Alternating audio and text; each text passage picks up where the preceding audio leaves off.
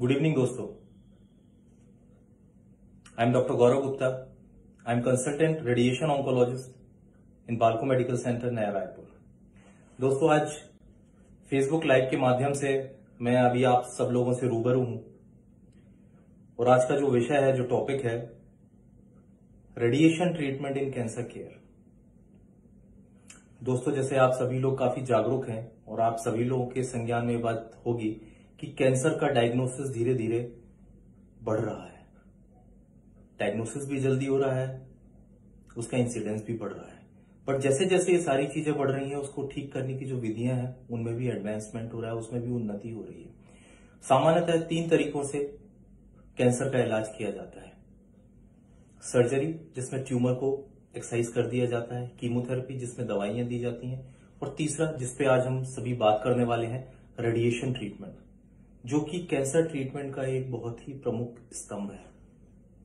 Talk के बीच में, discussion के बीच में अगर आपके मन में कोई सवाल आता है you can always write in the comment box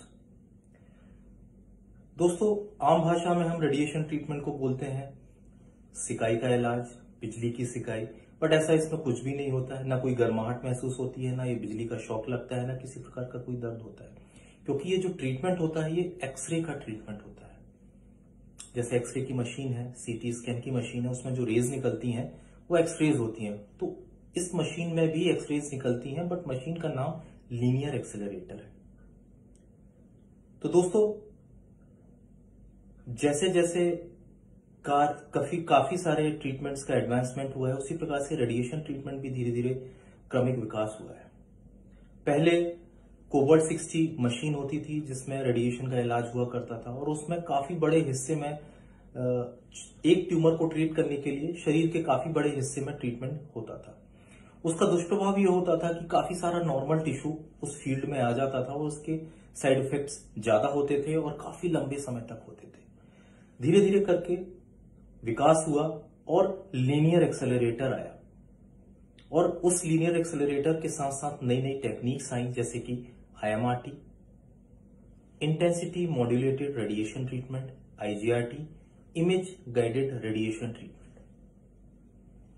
दोस्तों, ये बताते हुए मुझे अत्यंत हर्ष हो रहा है कि बालको मेडिकल सेंटर में जो लीनियर एक्सेलरेटर है, वो ट्रू बीम है, जिसमें सारे प्रकार के एडवांस रेडिएशन टेक्निक से हम रेडिएशन ट्रीटमेंट डिलीवर कर सकते हैं। अब जो मैंने आपको आईएमआरटी और आईजीआरटी अभी आपको बताया, इसका लाभ क्या है? इसका एडवांटेज क्या है? दोस्तों, सबसे पहले तो ये पूरी तरीके से कंप्यूटराइज टेक्निक्स हैं। इसमें सांचा बनाया जाता है, जिस भी हिस्से का रेडिएशन हो रहा होता है, उस पेशेंट का पर्टिकुलरली पेशेंट स्पेसिफिक एक सांचा बनाया जाता है। एक सीटी स्कैन होता है फिर सांचे के साथ में, और उस सीटी स्कैन पे ही पूरा एक थ्री प्लान डेवलप होता है। और उस पूरे प्लान का जो मोटिव होता है, जो उद्देश्य होता है कि सीटी स्कैन में जहाँ जहाँ पे बीमारी है, उस हिस्से को पर्याप्त मात्रा में, समुचित मात्रा में रेडिएशन की डोज पहुंचाई जाए, जिससे कि कैंसर सेल उस जगह पे किल हो जाए। रेडिएशन का जो काम करने का तरीका होता है, वो उसी जगह पे कैंसर सेल को वो किल कर देता है। और साथ ही उस थ्री प्लान में आसपास में जितने नॉर्मल स्ट्रक्चर्स हैं, उनको पूरी तरीके से बचाया जाए, जिससे कि रेडिएशन के दौरान होने वाले साइड इफेक्ट्स और उसके बाद में होने वाले साइड इफेक्ट्स काफ़ी मात्रा में कट डाउन हो सके। दोस्तों, जब भी रेडिएशन होता है तो ये ओपीडी सेटिंग में होता है। मींस पेशेंट आता है रेडिएशन कराता है, वापस चला जाता है। मशीन पे पंद्रह मिनट के आसपास लगता है। सप्ताह में पाँच बार होता है, प्रतिदिन एक, सप्ताह में पाँच। और इस तरीके से लगभग एक से डेढ़ महीने ये रेडिएशन ट्रीटमेंट चलता है। रेडिएशन की बात करें तो लगभग हर कैंसर में इसके ट्रीटमेंट में इसका एक प्रमुख स्थान है। इंडिया में, जो कि सबसे तीन प्रमुख कैंसर हैं head and neck cancer carcinoma breast carcinoma cervix तीनों ट्रीटमेंट में, तीनों के इलाज में रेडिएशन ट्रीटमेंट एक विशेष स्थान है। और कार्सिनोमा और जैसे जैसे अलग अलग ट्यूमर होते हैं तो नंबर ऑफ़ फ्रैक्शन मीन्स कितनी सिटिंग रेडिएशन की है, वो नंबर ऑफ़ कितनी सिटिंग देनी है, वो ट्यूमर के हिसाब से डिसाइड होती है साइंटिफिक स्टडीज़ द्वारा। जैसे कि हेड एंड नेक में लगभग 30 से 35 इलाज होते हैं रेडिएशन के। कार्सिनोमा ब्रेस्ट में 16 से 20 इलाज होते हैं।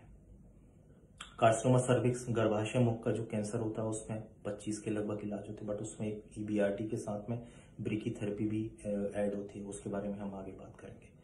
तो इस तरीके से रेडिएशन का जो ट्रीटमेंट है पेशेंट आता है वॉकिंग टॉकिंग अपना ट्रीटमेंट लेता है और वापस घर चला जाता है। आईएमआरटी और आईजीआरटी की एक खासियत और है।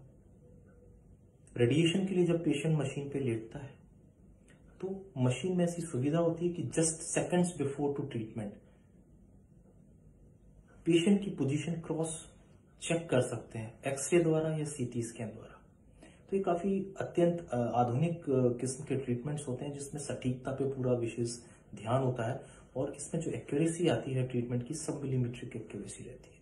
तो हाईली फोकस्ड हाईली कन्फॉर्मल बहुत ही सटीक इलाज, साथ में नॉर्मल टिश्यू के जो साइड इफेक्ट्स हैं, उसको कम से कम करने की कोशिश की जाती है। दोस्तों कार्सिनोमा सर्विक्स गर्भाशय मुख के साथ मैंने ब्रेकी थेरेपी की बात करी थी। ये बताते हुए मुझे अत्यंत हर्ष हो रहा है और साथ में एक प्राउड फीलिंग भी होती है कि बालको मेडिकल सेंटर में जो रेडिएशन डिपार्टमेंट है, अपने आप में ये कंप्लीट रेडिएशन डिपार्टमेंट है।